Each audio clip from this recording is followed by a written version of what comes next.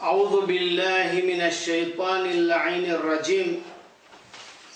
بسم الله الرحمن الرحيم.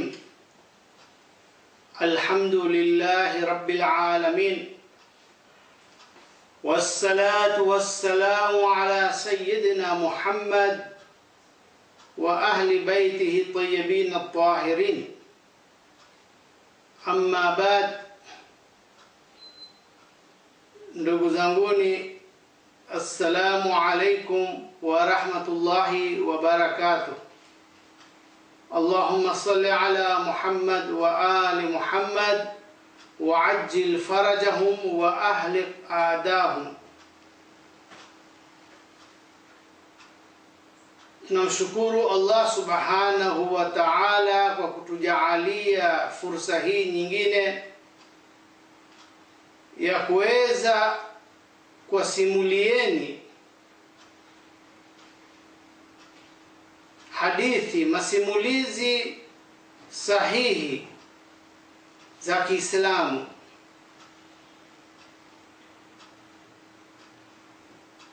Alhamdulillah tumeshasikia kufuatana na ratiba ambayo mmeisoma. Tumemaliza kusimulia kuhusu Mtume Saleh alayhi salam pamoja na ngamia wake, na tukasimulia ashab ras, na leo insha Allah na alhamdulillah tunazungumzia ashabi ukhdud watu wa mahandaki na vile vile tutazungumzia ashabi sabt. Na vile vile tutazungumzia ashabi kahf. Watu wa pangoni. Na ashabi fil. Watu wa tembo. Na masimulizi mengi kama vile mtakavyokuwa mmeona katika ratiba ya masimulizi. Insha Allah tuombe dua Allah subhanahu wa ta'ala atujaalie taufiki ya kuweza kukamilisha moda moja baada ya nyingine. Ndugu zanguni, masimulizi au hadithi hii, stori hii ya leo hakuna habari za Waislamu,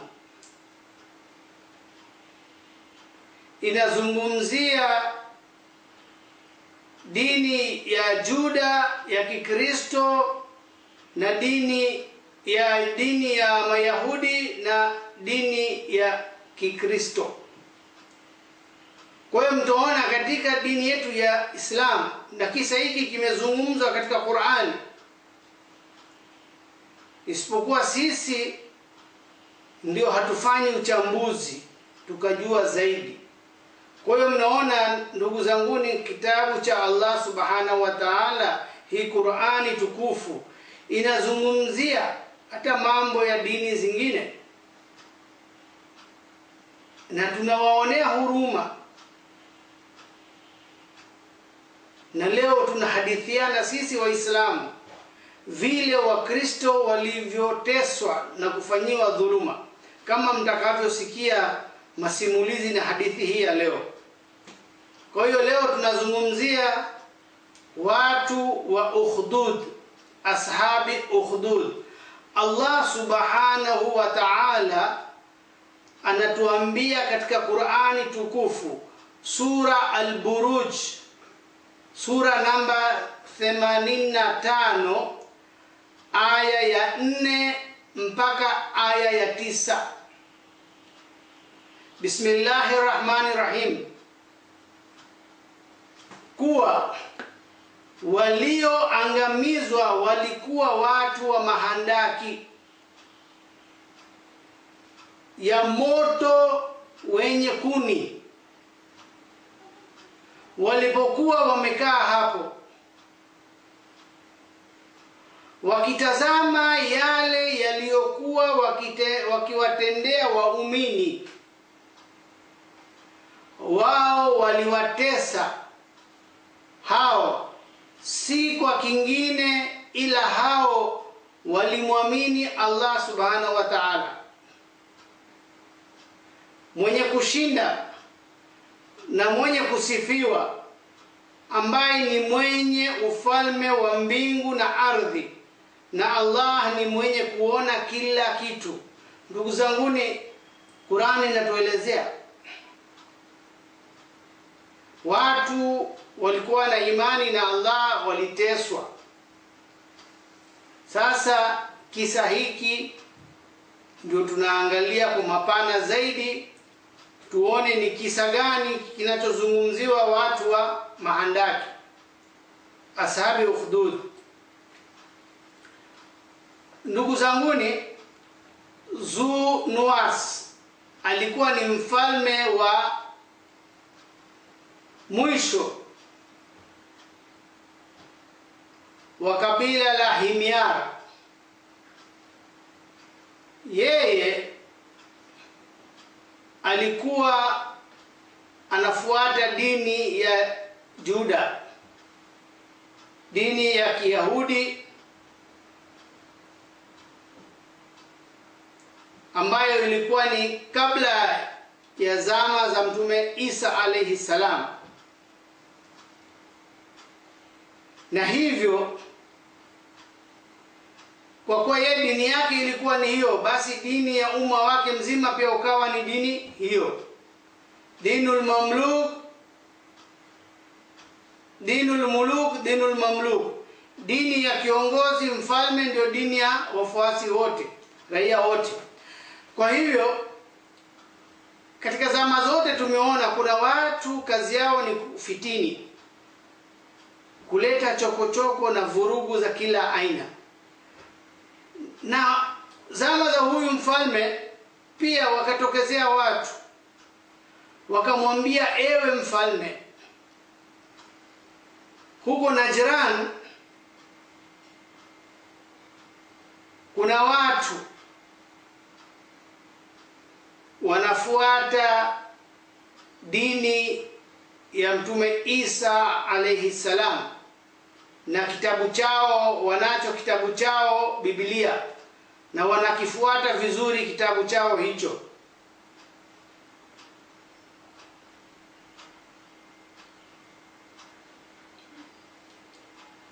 Sasa kiongozi wao ni Abdullah bin Yamin. Sasa huyu Zunuwas kwa kusikia hayo akawa na hasira sana, kwa sababu yeye alikuwa anataka dunia nzima ifuate di, ifuate dini moja tu hiyo ya Juda ya Kiyahudi. Na wala sio dini nyingineyo tena, na akaamua kwenda kuwarudisha watu katika jini ya Juda. Alitayarisha jeshi kubwa, jeshi kubwa sana, akaingia mjini Najran, na baada ya kuwaambia wale watu wa Najran wakubali dini ya Juda, wao wakakataa. Na pamoja na hayo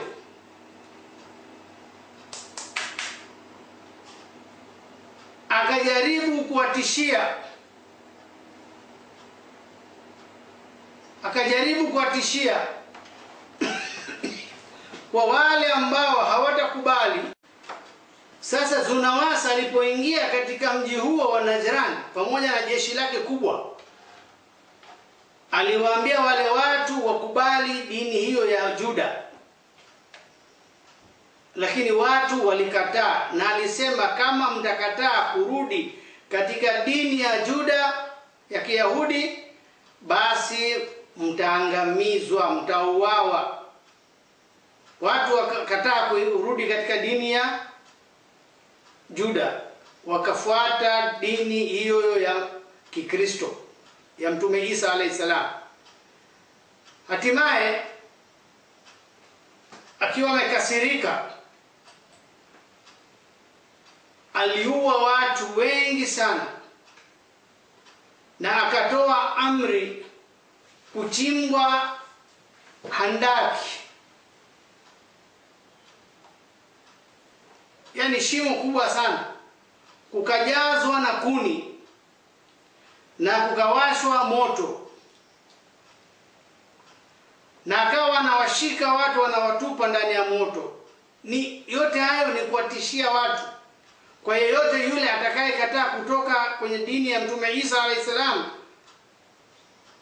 akikataa kurudi katika dini ya Kiyahudi atachomwa moto, atauawa, atakata pua, atakatwa sikio, atakatwa mkono, yaani kila aina ya mateso na vitisho vilikuwepo.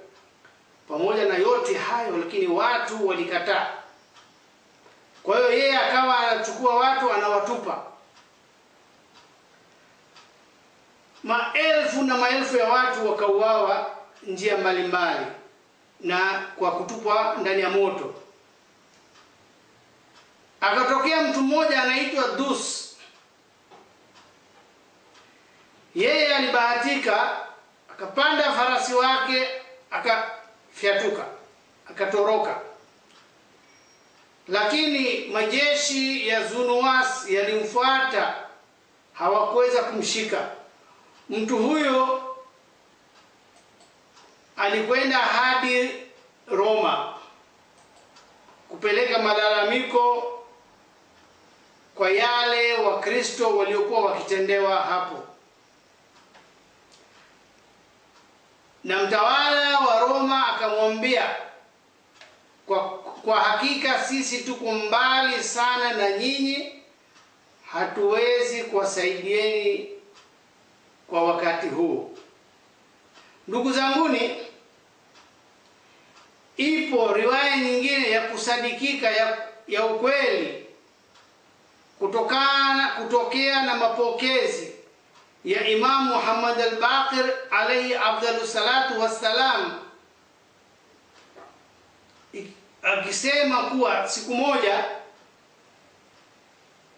Imam Ali ibn Abi Talib alayhi afdalu salatu wassalam alimwita padri kiongozi wa dini kutokea Najran na akamuuliza habari hizi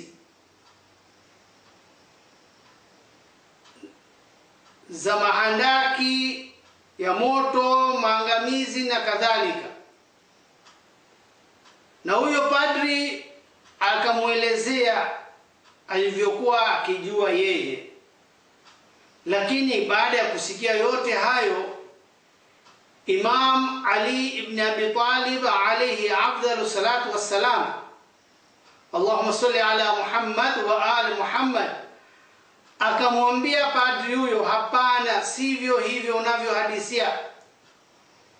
Ukweli ni kwamba Allah subhanahu wa ta'ala alimteua mtume mmoja kutokana na miongoni mwa watu wao wa Abisinia, Ethiopia. Kitu moja naomba niwaambieni, tukisikia majina ya nchi ya leo, majina haya ya nchi ni ya zama hizo miaka iliyopita mingi sana. Wao walikuwa na mipaka tofauti. Ukisema Uturuki ya leo na Uturuki inayozungumziwa katika historia ya enzi hizo ni vitu viwili tofauti. Mipaka ya zamani ilikuwa mikubwa sana, sasa hivi mipaka ni midogo. Kwa hiyo ukisikia nchi usifikirie nchi ambayo ilivyo sasa hivi. Kwa hiyo watu wa hawa wa mji huo wa nchi hiyo ya Abisinia walimkataa mtume huyo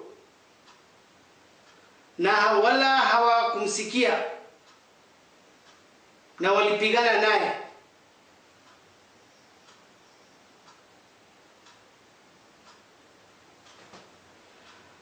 Hao waliwaua mitume mingi sana, waliwaua wafuasi wa mitume hiyo. Wafuasi wengi sana wa mtume huyo waliuawa na wengi walishikwa, akiwemo mtume huyo. Sasa mtawala wa huyo hapo akachimba handaki, shimo kubwa, akawasha moto na akatangaza, yeyote yule anayetaka kujisalimisha na kuchomwa moto, kutupwa ndani ya moto, inambidi arudi katika dini hiyo ya mtawala huyo.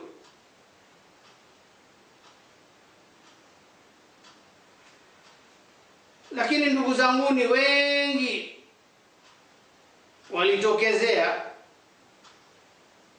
wakaacha dini ya mtume kujisalimisha. Hata sisi mara nyingi tunasema uongo sababu ya uoga. Sasa na watu hao wakasema sisi basi tunatoka katika dini ya mtume huyo,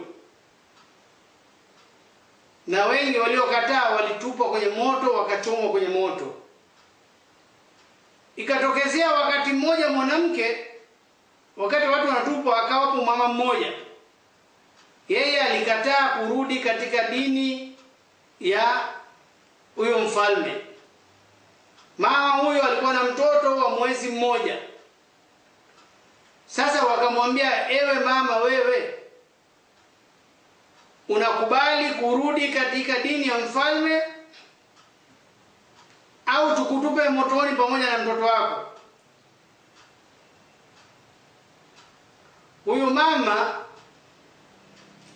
alikuwa na sita kubadili dini yake, hakutaka kurudi katika dini ya mfalme.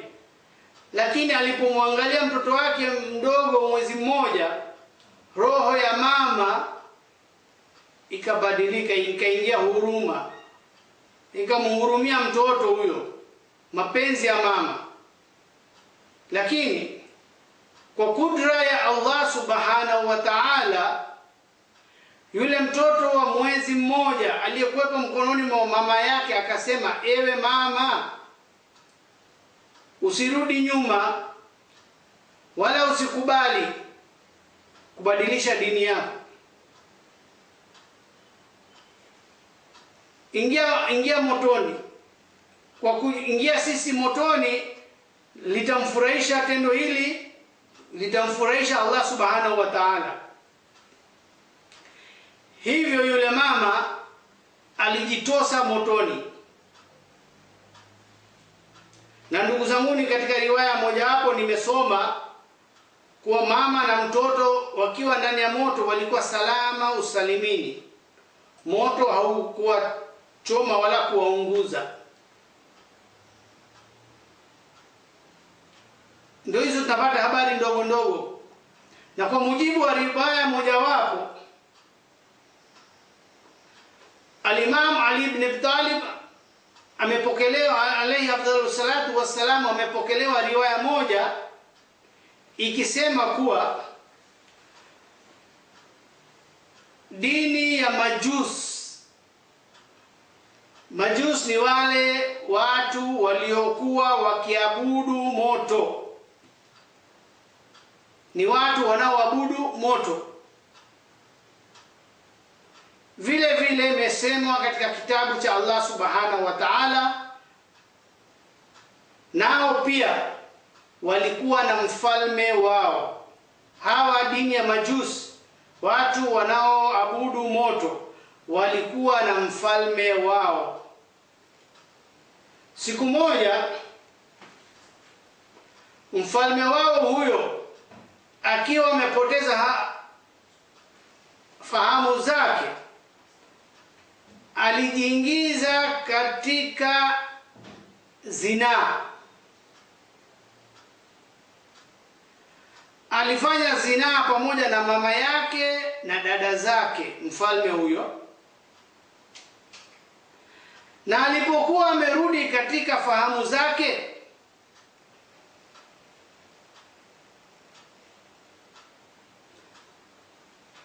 aliwatangazia watu kuwa mambo hayo ni sahihi na yanakubalika katika ufalme wake na dini yake, na watu walikuwa wanajua dini na hiyo, wakasema hapana, la hasha, haiwezekani. Hawakukubaliana naye, na hiyo ndio ikawa sababu mojawapo ya yeye kuchimba mahandaki na kuwatupa wale watu wote waliokwenda kinyume na vile alivyotaka yeye.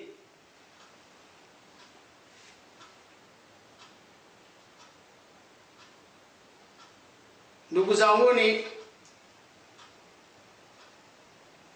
ipo riwaya moja kutoka kutokea kwa alimam Ali ibn Abi Talib alayhi afdalus salatu wassalam ikisema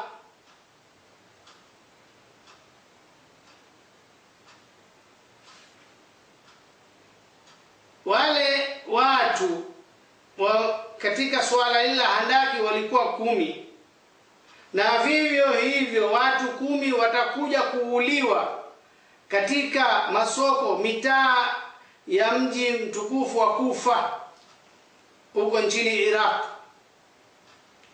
Alikuwa anamaanisha kusema kuwa Ibn Ziyad mal'uni laanatullahi alayhi ziwe juu yake, baada ya kufika katika mji mtukufu wa Kufa, aliamrisha kikundi cha wale watu ambao ni wafuasi wa Imam Ali ibn Abi Talib alayhi salam, walishurutishwa kuachana na Imam Ali ibn Abi Talib alayhi afdalu salatu wassalam lakini watu hawa kikundi hiki walikataa kata kata. Basi nao walichokipata ni hicho cha kuuawa. Katika zama zote, ndugu zanguni, mateso kama haya yapo yanarekodiwa. Vile vile inapatikana katika riwaya moja ya kuaminika kutokea kwa Imamu Muhammad al-Baqir alayhi afdhalu salatu wassalamu, ikisema kuwa Bwana Umar alituma alimtuma mtu mmoja awe akiwa kamanda wa jeshi kwenda huko Syria katika mji mmojawapo. Baada ya mji huo kutekwa, wale wakazi wa mji huo walikubalia dini ya Islam, wakawa Waislamu. Kukajengwa msikiti, kukajengwa msikiti na lakini ulipokamilika msikiti ule ukaporomoka ukabomoka tena.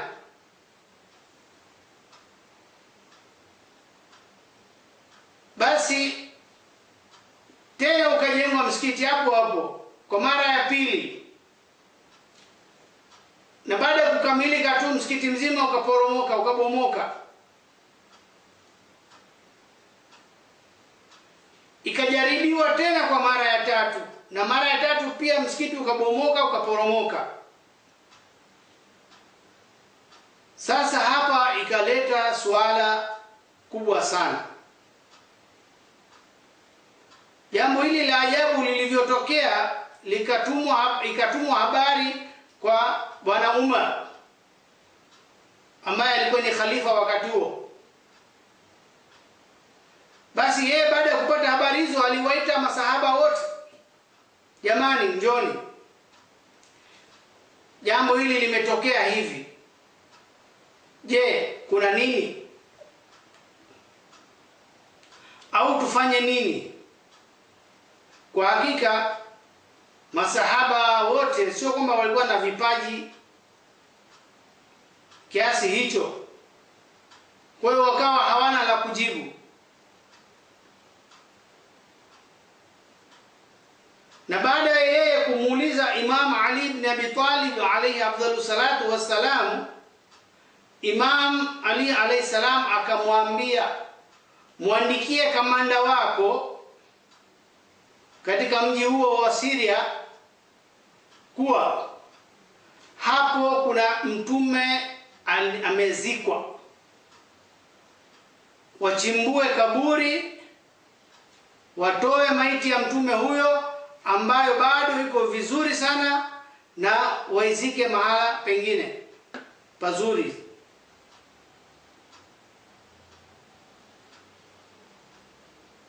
Kwa sababu mtume huyo aliuawa na akazikwa sehemu hiyo hiyo. Sasa wakachimbua kwa mujibu wa vile Imam Ali alayhi afdhalu salatu wassalamu alivyoeleza na kuhamisha maiti hiyo wakaizika mahali pengine, wakakuta maiti hiyo bado ina damu fresh vile vile ilivyokuwa. Na baada ya kuhamisha maiti hiyo wakajenga msikiti. Msikiti ukakamilika na ukawa salama usalimini. Ipo riwaya nyingine inayosema kwamba Imam Ali ibn Abi Talib alayhi afdalu salatu wassalam alimwambia Khalifa Umar kuandika barua kwa yule kamanda wake aliye katika mji huo wa Syria, ambapo wakijenga msikiti unaporomoka, awamwambie pale kuna kaburi, kwa hiyo wajenge ubavuni wake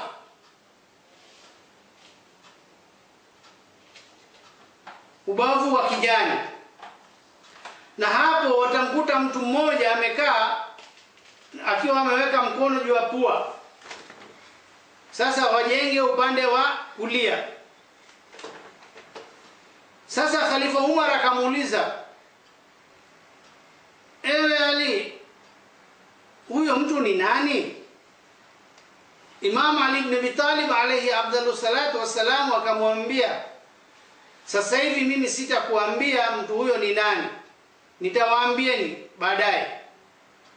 Wewe kwanza andika mambo haya yatume. Hatimaye kamanda huyo aliandikiwa vile Imam Ali ibn Abi Talib alayhi salam alivyosema. Sasa baada ya kamanda huyo kupata hii habari na maagizo ya Imam Ali ibn Abi Talib alayhi afdalu salatu wassalam, wakajenga na msikiti ukawa salama usalimini, na baadaye mbeleni Imam Ali ibn Abi Talib alayhi afdalu salatu wassalam akaulizwa yule mtu alikuwa ni nani? Akasema yule mtu alikuwa ni mtume aliyekuwepo katika zama zile za watu wa mahandaki. Ndugu zanguni, imeelezwa, imeripotiwa katika riwaya inayosadikika pia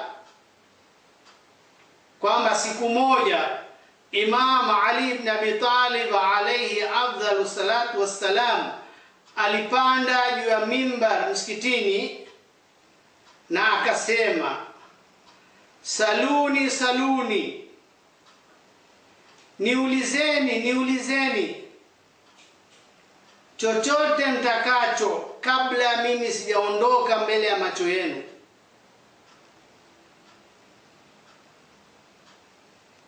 Ash'as bin Qais mnafiki laanatullahi alayhi akainuka akasema, ewe Amir al-Mu'minin Ali ibn Abi Talib, kwa nini sisi tunachukua kodi tunawachaji kodi. Hawa majusi. Wale watu wanaoabudu mioto moto. Kwa sababu wao ha, si watu wa ahlalkitab na walikuwa hawana mtume yoyote miongoni mwao. Ndugu zanguni Imam Ali ibn Abi Talib alayhi afdalu salatu wassalam akajibu. Sivyo hivyo unavyodhania wewe. Wao ni watu ahlal kitab. Na Allah subhanahu wa ta'ala aliwatumia mtume kwa ajili ya kuwalingania dini ya Allah subhanahu wa ta'ala na vile vile walikuwa na mfalme wao. Hao majusi walikuwa na mfalme wao. Usiku mmoja mfalme wao huyo akiwa katika hali ya kupoteza fahamu amelewa kupindukia kiasi. Alimwita binti wake akazini naye siku ya pili watu walipokuja kujua walikusanyikana na wakamkemea sana. Na wakamwambia ewe mfalme wetu wewe umeichafua dini yetu. Sasa twende tukupige mawe mpaka ufe uko porini. Mfalme huyo akasema sawa lakini kwanza nataka wote tukutane. Hivyo wote wakakutana mfalme akawaambia mbele ya Allah subhanahu wa ta'ala mtume Adam na bibi Hawa si walikuwa wapenzi kwa sababu ndio viumbe wa kwanza walioumba binadamu watu wote wakasema ndio. Akaendelea. Sasa baada ya mtume Adam na bibi Hawa alayhi salam wakazaliwa wavulana na wasichana watoto wa kiume na watoto wa kiike. si wao walikuwa wanaoana watu wakasema ndio. Sasa akasema mimi na mimi nimefuata sunna hiyo hiyo. Sasa kosa gani nimefanya? Na watu walikuwa jahil na ushabiki wa mfalme. Wakasema kweli bana. Maelezo yako wewe ni ya kweli kabisa. Na hivyo kukapitishwa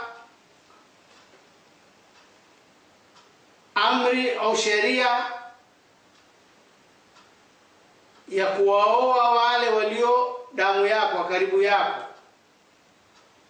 Kwanza ilikuwa inazuiliwa. Sasa baada ya huyo mfalme kutenda hivyo likawa jambo ambalo limeruhusiwa katika dola hiyo. Hivyo Allah subhanahu wa ta'ala aliondoa ilmu yake yote kutoka mioyo yao na vile vile kitabu chake Allah subhanahu wa ta'ala kikawa kimeondoka. Kwa hivyo watu wabakia makafiri wa kuingia moto wa jahannam. Ndugu zanguni habari ndogo ndogo ndo tunazipata hizo. Ipo riwaya nyingine ya kusadikika inayosema kuwa hawa majusi walikuwa na mtume wao aliyekuwa anaitwa Jamas naye alikuja na kitabu cha Allah subhanahu wa ta'ala. Na kitabu hicho kilikuwa kimeandikwa juu ya ngozi ya ng'ombe elfu kumi na mbili. Lakini watu hawa kwa udhalimu wao walimuua mtume huyo na kukichoma kitabu hicho, yaani kuchoma ngozi zote za ng'ombe ambamo zilikuwa zimeandikwa ilmu hiyo ya kitabu cha Allah subhanahu wa ta'ala. Iko riwaya nyingine ya kusadikika ya kuaminika inayosema kuwa Imam Jafar Sadiq alayhi salam aliulizwa, na baada ya kuulizwa huyo mtu alikuja akasilimu baadaye. Alichouliza ni nini? Moja ya maswali yake yalikuwa yanahusu majusi, hawa watu wanaoabudu moto. Je, walikuwa wana mtume yeyote? Kwa sababu mimi nimeona walikuwa wana vitabu vingi sana vingi sana, yaani hizo ngozi moja moja ilikuwa naona nyingi sana, katika riwaya inapatikana, na walikuwa wanatoa mi, mihadhara misemo mizuri sana, na vile vile walikuwa wanaamini katika thawabu na adhabu baada ya kufa kwa mtu. Mtu mwenye matendo mema anapata anapata jazaa, anapata malipo mema, na mwenye kutenda maovu analipata adhabu. Wote walikuwa wanaamini hawa, na wa, mtindo wao wa maisha pia ulikuwa mzuri. Kwa hayo Imam Jafar Sadiq alayhi afdalu salatu wassalamu akamjibu, hakuna umma wowote katika ardhi hii hawakupata mtume. Qur'an nasema walikulli umma rasul, kila umma walipata mtume.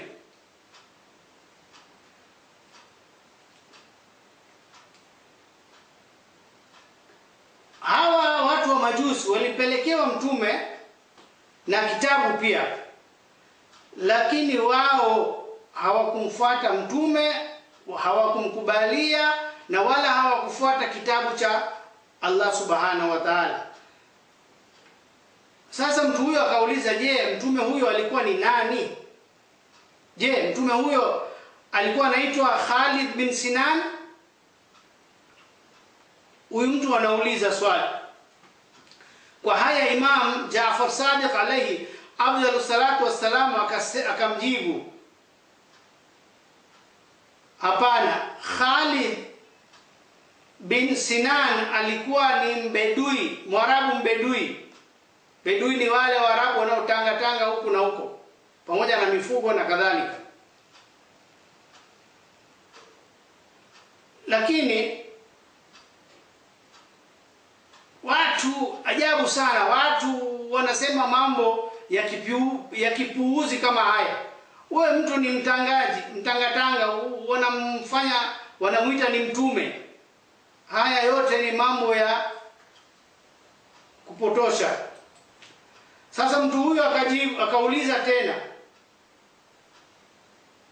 je, huyu Zoroaster alikuwa ni mtume?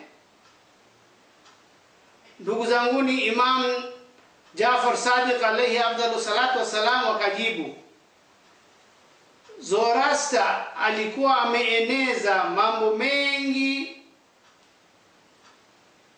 yasiyo sahihi na alijibainisha yeye mwenyewe kuwa yeye ni mtume.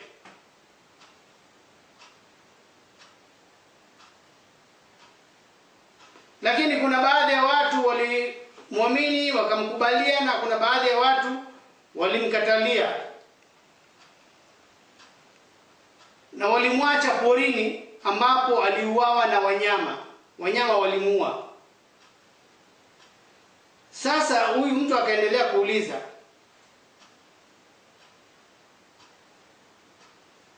ewe mjukuu wa mtume, naomba nikuulize kitu moja. Katika zama za ujahilia, zama za ujahilia ni zama zile kabla ya dini ya Islamu, kabla ya dini Islamu haijaja, zile zama kabla yake inaitwa zama za ujahilia. naomba nikuulize ewe mjukuu wa mtume. Ni nani waliokuwa karibu na ukweli na haki. Hawa watu wa majusi au hawa waarabu wa zama za jahilia nani walikuwa watu wako kwenye ukweli na sahihi? Imamu alayhi salam alimjibu katika zama za ujahilia hawa waarabu ndio watu waliokuwa karibu na dini halisi dini safi dini ya kweli ya mtume ibrahim alayhi salam. Naomba nirudie. Katika zama hizo za jahilia waarabu walikuwa ndio watu waliokuwa wamekaribia kwa usahihi katika dini ya mtume ibrahim alayhi salam ukiwalinganisha na majusi. Majusi walikuwa wamepotoka. Hawa waarabu wa zama za jahilia ndio walikuwa wamekaribia dini ya mtume ibrahim alayhi salam.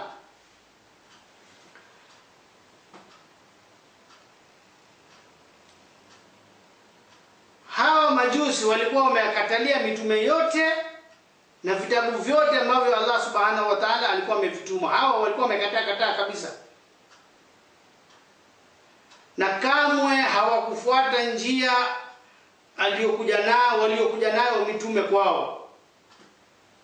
Mfalme wa, maj, wa majusi aliwa aliwaua wafalme mia tatu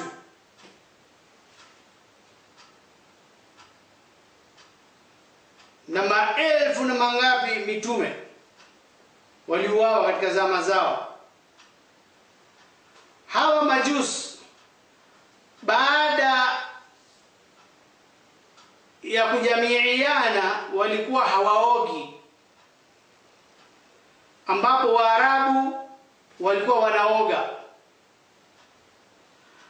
na ambapo kuoga huku ni mojawapo ya maamrisho katika dini ya mtume Ibrahim alaihi salam. Hawa majusi walikuwa hawaingii tohara, wanaume wao walikuwa hawafanyiwi tohara, wakati Waarabu walikuwa wanatohariwa wanaume. Na hii ndio njia mojawapo ambayo mitume walikuwa wanayo, na mtu wa kwanza kutohariwa alikuwa ni mtume Ibrahim alayhi salam mwenyewe. Hawa majusi, hawa watu wanaofuata dini ya majusi, wanaoabudu mioto, walikuwa hawawaviki sanda au kitambaa wale watu wanaokufa, wala walikuwa hawawaoshi. Wewe ukifa hawakuoshi, wewe ukifa hawakufuniki kitambaa sanda, wakati Waarabu walikuwa wanafanya hivyo.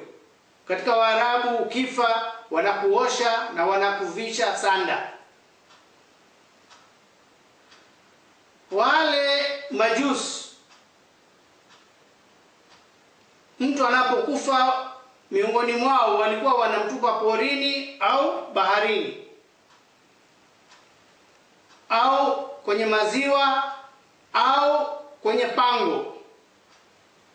Lakini Waarabu, mtu akifa wanamuosha, wanamvalisha sanda na wanamzika, desturi ya Waarabu kwa kuchimba maiti, na hii ndio ilikuwa njia ya mitume. Tumesoma sisi Habil na Kabil walipopigana, Kabil alipomua Habil, alikuja kunguru wawili wakagombana, moja akafa, akachimba shimo akamzika mwenzake. Kabil akajifunza, kumbe huyu nimemua amekufa, akamzika Kwa hii imeanzia kutokea kwa zama za Mtume Adam alayhi salam. Ndugu zanguni, majusi wao katika mila zao wanaoana mama yao, dada yao, watoto wao na, na kadhalika, hawana uharamisho wowote katika jambo hili. Wakati Waarabu kwao jambo hili ni haramu.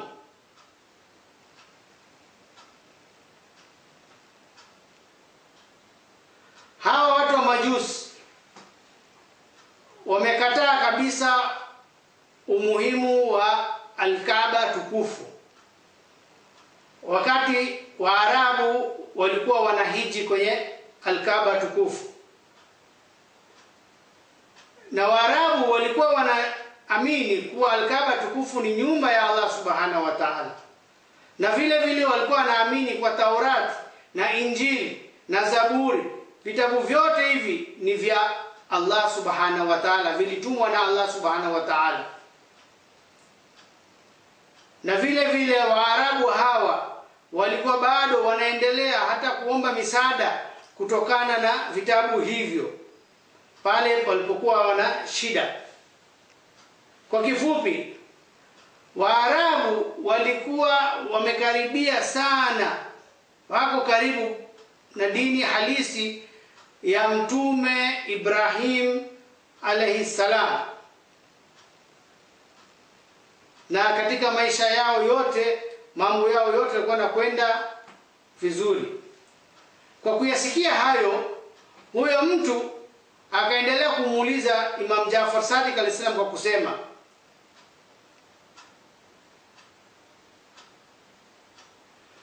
lakini ewe mwana wa mjukuu wa mtume, ewe mjukuu mtume, hawa watu majusi walikuwa wanafanya desturi yao, utamaduni wao huo muovu, ni kwa sababu walikuwa wanafuata desturi ya mtume Adam alayhi salam. Sasa kuna ubaya gani ndani yake?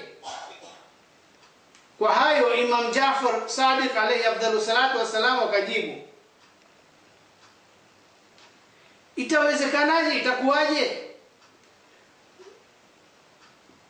wakati kama wao wanajua wazi wazi kuwa mambo kama haya mtume Adam mwenyewe, mtume Nuh alayhi salam, mtume Ibrahim alayhi salam, mtume Musa alayhi salam, mtume Isa alayhi salam na mitume yote walibainisha kuwa swala hili ni haramu. Itawezekanaje? Wao wakasema ni, ni, ni utamaduni wa mitume ni uongo kabisa. Sasa ndugu zanguni, mambo ndo kama hayo, kwa sababu watu wanapotosha dini, ndio manake wanatumia kila njia ya uongo na ukweli kuhalalisha mambo kama haya. Sisi tumemsikia Zunawasi ni miaka mingi iliyopita, lakini ndugu zanguni, leo leo mbele ya macho yetu tumeona Saddam laanatullahi alayhi amefanya nini Iraq? Amewaua mashia kwa kiasi alichoweza.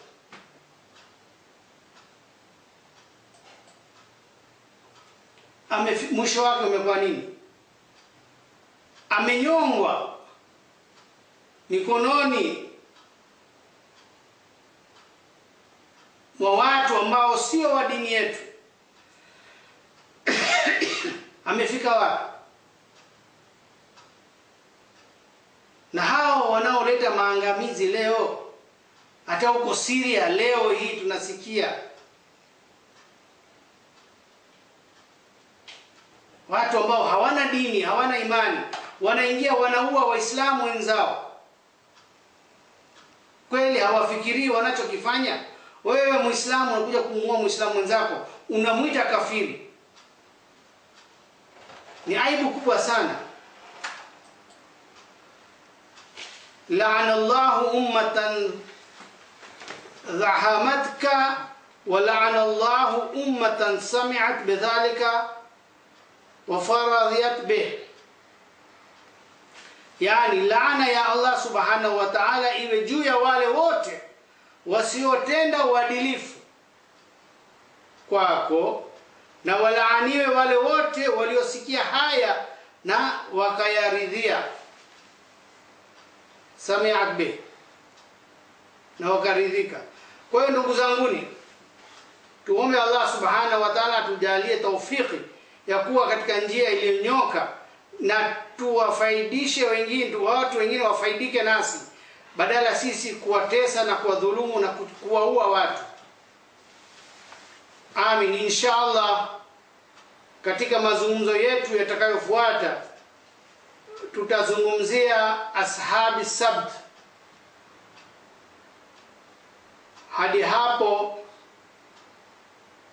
kwaherini na wassalamu alaikum warahmatullahi wabarakatuh اللهم صل على محمد وآل محمد وعجل فرجهم وأهلك أعداهم اللهم صل على محمد